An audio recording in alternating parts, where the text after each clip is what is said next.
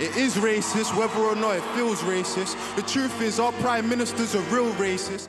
What is going on YouTube? Fesify Media. Don't forget to like, comment, share and subscribe for all the latest UK media updates. There was more than 300 complaints about Dave's performance at the Brit Awards where he performed the song Black. Um, they were saying it was racist against white people. Are you being serious?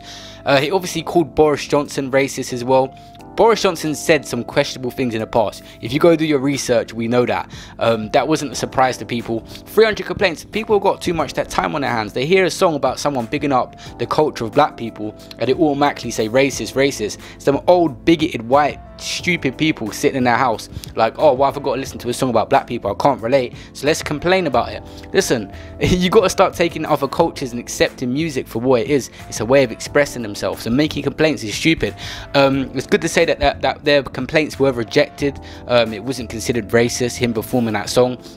But it just annoyed me um, that they come up with that. Like he, him as soon as he dissed Boris Johnson, already you're gonna have people that voted for him and, and like him and stuff like that. I get that, and he, then when he performs the song as well, they get angry about that. Like, come on, man, this is pathetic. But safe to say, it's not being considered racist. The videos on YouTube of him performing it and stuff ain't gonna be taken down. Their complaints have not been successful, but um, it's a big number. I know, I know, millions of people are watching it live and stuff like that. But 300 people plus, it said 309 people actually took their time out to form a complaint against Dave, saying saying that he's racist.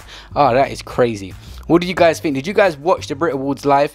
Definitely, definitely was not racist. Him calling out Boris Johnson for being racist, he's allowed to do that. You can call someone out for making racist remarks and doing things that you know what I'm saying? Like that Dave said in the song, just because you don't think it's racist doesn't mean it isn't. If it is to him and he's done some stuff that you don't culturally accept, um, then that's that's his point of view.